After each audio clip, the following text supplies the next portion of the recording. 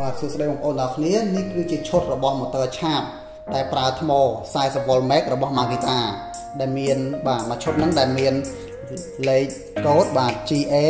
014 GD 201បាទអញ្ចឹងចង់ដឹងថានៅក្នុងប្រអប់ហ្នឹងមានអីខ្លះតោះមកបើកអស់នេះតានតាអូខេមើលថាលើទៅមកកាមេរ៉ាបាទអញ្ចឹង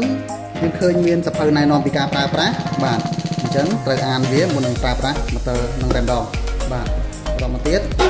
ឃើញថានេះជាបាទត្រង់ខួរខាងលើបាទអញ្ចឹងនៅក្នុងហ្នឹងបាទអង្គុយសាមានសាំងសាបាទមួយលេខ model របស់សាំងសា DC 40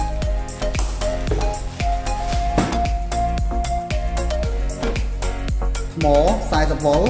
ចំណុះ2.5អាំពែ2កូនបាទដែលមានលេខ model BL 4025បាទហើយកន្លែងនេះមានប៊ូតុងចុចមើលថាអំពូលថ្មទៀតបាទគាត់មក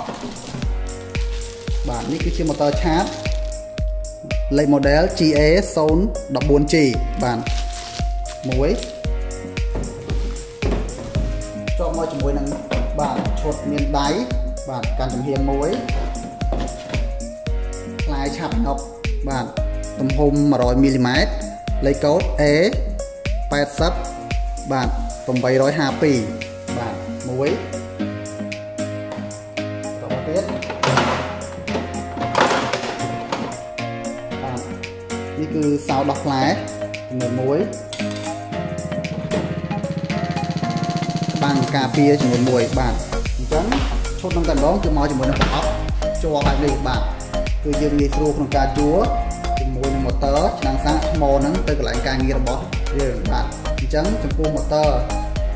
វាក៏ឈុតរបស់ម៉ូទ័រនឹងតែម្ដងគឺមានលេខកូដ GA បាទ 014G